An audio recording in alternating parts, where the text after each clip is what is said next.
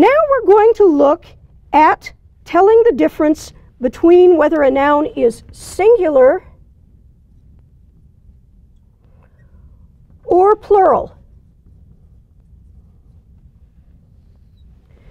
This is a fairly important thing to know because it works when you're trying to match subjects and verbs where if you have a singular subject, you're going to have to have a singular verb.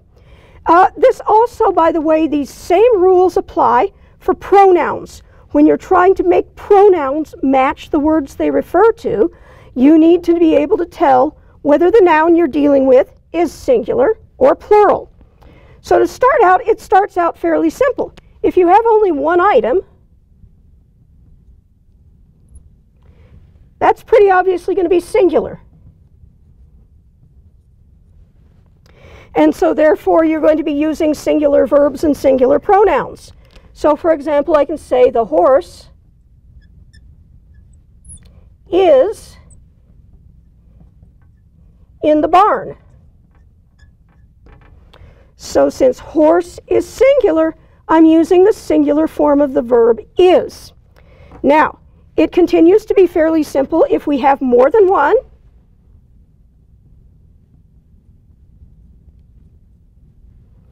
That's pretty obviously going to be plural. Uh, so if we have something where we have more than one, I can have the cows are in the pasture. So we have the plural cows, therefore we use the plural uh, verb are. So the cows are in the pasture. Now, we're getting to get a little bit more complex when we look at compounds. If you have a compound that uses and, and means adding things together. So even if you're adding things together that is singular, when you're using and, you're automatically going to end up with something plural because when you're adding things together, you automatically get more than one. So I can have the horse and the mule are in the barn. So horse and mule are both singular, but we're adding them together with and, so we use the plural of the verb. So we use are. Now, it gets a little bit more complicated. If you have a compound and you use either or or nor, that one can be tricky because if you're saying it's either one thing or a bunch of multiple things or vice versa, you can't really tell. And so what you do when you have this kind of situation where you've got or or nor, you match what's closest. So whatever's closest to the uh, noun is what you're going to match. So for example, I can say uh, neither the cows nor the horse is hungry. So we have cows is plural, horse is singular. Horse is what's closest to the verb, Therefore, we use the plural form of the verb, I mean the singular form of the verb is, because what's closest is singular. Uh, on the other hand, if I had it the other way around, neither the horse nor the cows are hungry. So in this case, the noun that's closest to the verb is plural, it's cows. So we use the plural form of the verb are. Now, there are some others that get a little bit counterintuitive. For example, if you have um, what are called indefinite pronouns, that's anybody, everybody, someone, nobody, all of those, um,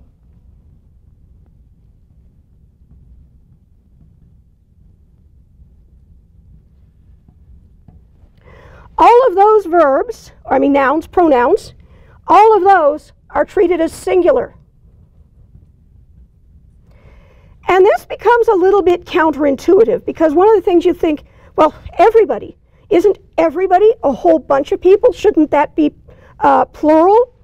Uh, and the answer is take this thing apart. And if you take it apart, you have everybody. So body is singular.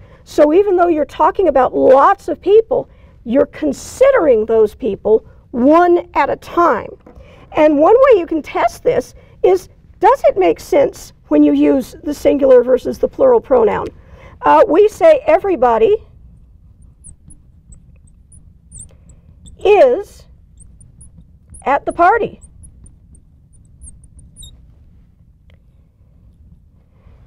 We don't say everybody are at the party. It sounds very weird to say everybody are at the party. And that's your clue that tells you that since we say everybody is, is is the singular pro, singular noun because everybody is singular. So that's something to remember um, even if it sounds kind of, um, uh, even if you think, well, everybody's plural, it's not. It's singular and you can test it. You don't say everybody are. You say everybody is. Uh, some other things that are a little bit counterintuitive. Uh, one is um, when you have uh, a topic of study or discussion.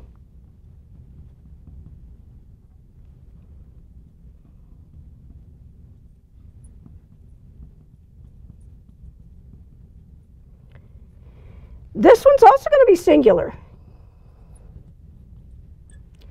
And it seems a little bit weird, um, but uh, when you're talking about, for example, I might say politics,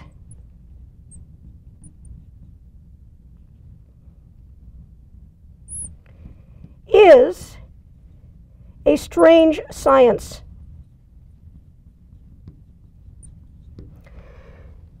even though it looks like politics ought to be plural, we actually treat it as singular. It's a topic of study. So we say politics is a strange science. Um, another one that seems a little bit counterintuitive is if you have a group. Uh, what is usually known as a collective noun, where you're talking about a team or a family or a class or a herd. When you have a group like that, that's also treated as singular.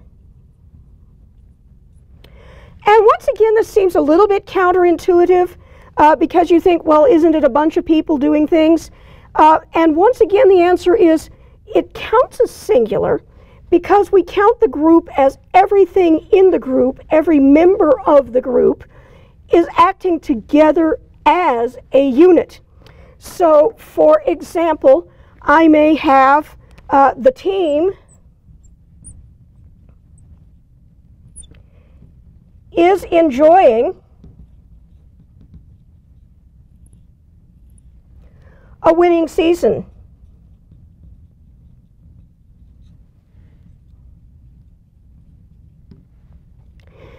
We don't say the team are enjoying, we say the team is enjoying. And the reason is that the team is a single unit acting together. Uh, all of the members of the team are working together as a single entity. So we use that a group is going to be an it and not a they. Now, there is one extremely rare exception to that. It's very, very rare, and that would be except when the members of the group are acting differently.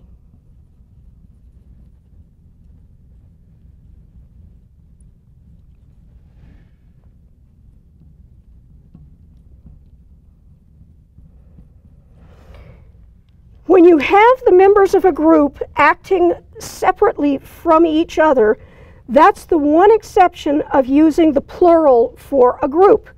And this one, I had to come up with a really convoluted sentence even just to demonstrate this particular rule. And so I'm going to start way over here where I have more room. Um, the team are running around all over the field as if they all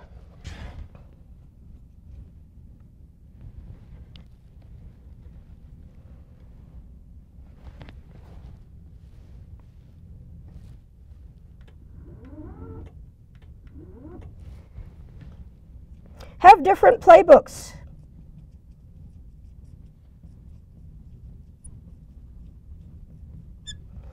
So this team uses this plural, are running, over the field. We're also using the plural uh, pronoun, they, and once again, uh, the plural verb here. Now, as I said, this is weird and convoluted. It sounds very awkward to say the team are. And in fact, one of the things I would argue when you have this kind of a situation, these guys aren't really being a team anyway because they're not working together as a singular unit. So I would actually fix this by stopping using the word team. Instead, I would use players uh, to emphasize we don't have a single unit anymore. We have separate people, each going his or her own separate way. And so that's the one exception.